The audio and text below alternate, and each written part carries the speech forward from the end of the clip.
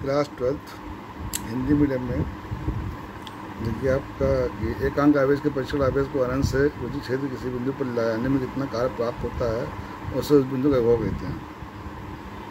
देखिए अनंत से किसी भी परीक्षण एकांक परीक्षण आवेश को अगर हम बिंदु ए पर लाते हैं, जितना कार्य में वर्क गेन होता है, इतना कार्य प्राप्त होता है, उसे ए बिंदु पर विभव कहेंगे, या बी पर लाने में इतना कार्य प्राप्त होगा, उसे बी का विभव कहेंगे। ठीक है?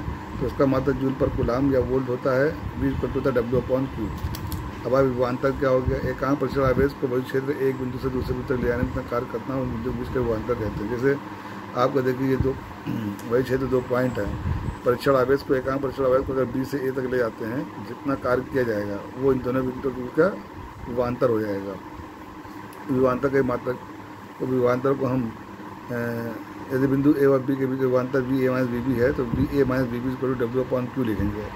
एक बार ध्यान रखिएगा परीक्षण आवेश को बिंदु बी से ए तक ले जाने में जितनी बार, कब तक कार्य किया, करना पड़े तो बिंदु ए का विभव बी के विभव से ऊँचा होता है। ठीक है?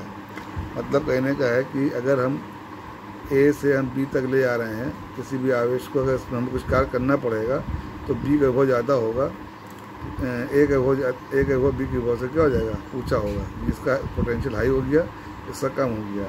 और वायु क्षेत्र में अगर धनावेश वैद्युत प्रतिकार ऊँचे विभव से, और हम जानते हैं, जो धनावेश होता है, वो ऊँचे विभव से नीचे विभव तक काम करता है। यानी कि हाई पोटेंशियल से लो पोटेंशियल तक जाता है, ठीक है? तो करेगा।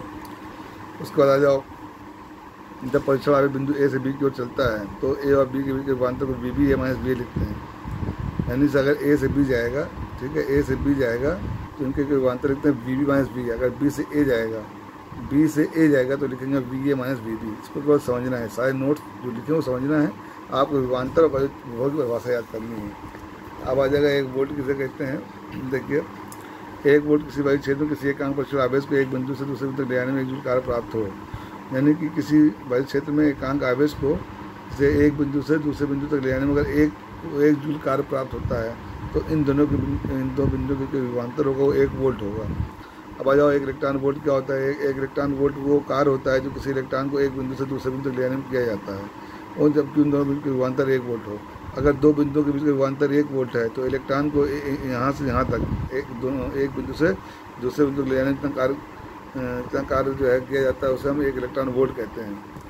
अब देखिए ए से हम बी पर ले गए थे तो हमारा हम ए से बी पर ले गए थे तो विभांतर को लिखेंगे वी बी माइनस अगर बी से ए में ले गए हैं, ठीक है तो बी ए माइनस बी लिखेंगे W upon Q W upon Q को हम ई भी लिखते हैं, और ये उससे गति ऊर्जा के रूप में संचित हो जाती है। ई बी इक्वल टू जाएगा हाफ़ एम बी स्क्वायर यहाँ पर बी क्या है? विभांतर है, दो बिंदु के बीच का, जब इलेक्ट्रॉन को एक बिंदु से दूसरे बिंदु ले आ रहे हैं, और जो हमारा ये क्या कहते हैं, जो वी है, ये उसका वेग है। ठीक है, ये आपका याद रखना, एक इलेक्ट्रॉन वोल्ट जो होता है, वो वन पॉइंट सिक्स दस हज़ार नाइनटीन जूल के बराबर होता है। अब आ जाइए, किसी बिंदु आवेश का और किसी बिंदु का विभव किसी बिंदु पर विभव ज्ञात करना है। आइए देखिए, कोई कोई क्यू आवेश है जो बिंदु ओ पर रखा हुआ है और ए पर कोई परीक्षण आवेश क्यू नॉट रखा हुआ है, ठीक है? अब ए ओ ए से लेकर अनंत तक की दूरी को हमने छोटी दूरी बांट दिया A B B C C D dash dash dash अनंत तक का। तो ओ से जो दूरी है ए की, वो आर है बी की आर वन है सी की आर टू है और डी की आर थ्री है ओ से ही, ठीक है? अब आ जाइए कि ए पर जो है, इस आवेश से कारण है। इस परीक्षण आवेश पर लगने वाला जो है, जो बल होगा एफ़ ए ठीक है?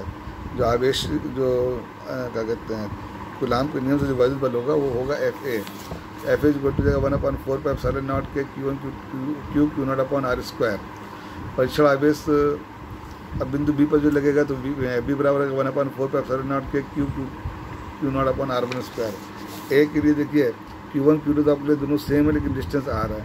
जब एफ़ ए निकालोगे, जब एफ़ बी निकालोगे तो ये अगर यहाँ क्यू नॉट उस पर आ जाएगा तो क्यू वन क्यू टू बराबर है।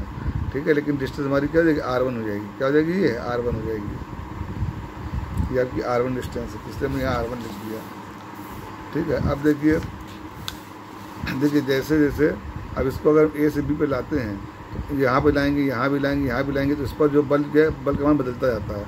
क्यों? क्योंकि दूरी बढ़ती जा रही तो बल कम होता जाएगा। ठीक है और बी कुछ और कम हो जाएगा। तो ए से बी के बीच का जो कितना बल कम हुआ तो उसका जब यानी कि जो इस पर फोर्स लग रहा है ए से बी तक ले जाने में जो फोर्स लग रहा है तो उनका जो है हम समांतर मार्ग ले लेते हैं। सॉरी गुणोत्तर मार्ग ले लेते हैं। उसके लिए फॉर्मूला याद रखना पड़ेगा कि ए से बी तक में जो औसत बल लग रहा है, वो F A B equal to लिखा जाएगा under root F A into F B F A की वैल्यू रख दी एफ़ बी की वैल्यू रख दी, उसको सॉल्व किया हमारा। वन अपॉन फोर पाई दो बार अंडर रूट अंदर एक बार बाहर आ जाएगा क्यू वन क्यू नॉट दो बार एक बार बाहर आ जाएगा। केवल आपका अंडर रूट में R one R root square भी हट जाएगा तो आर वन आर टू आ गया। अब आ जाओ। ए से बी तक ले आने में जो बल लगा था वो एफ़ ए बी हो गया और किया गया कार निकाल ले रहे हैं। तो किया गया कार क्या होता है? बल बड़े विस्थापन, यानी F A B into displacement displacement क्या देगा आर वन में से अगर आर माइनस कर देंगे तो हमारा ए बी आ जाएगा। तो यहाँ पर लिख देंगे A B equal to R one minus R one upon four pi nought K Q one Q nought up R one R two R R one अब उसके बाद देखिए इसको अंदर ले जाइए आप तो आर वन से आर वन कट जाएगा तो वन अपन आर बचेगा, ये वन अपन आर वन बचेगा, ठीक है? इसी तरीके से अगर आप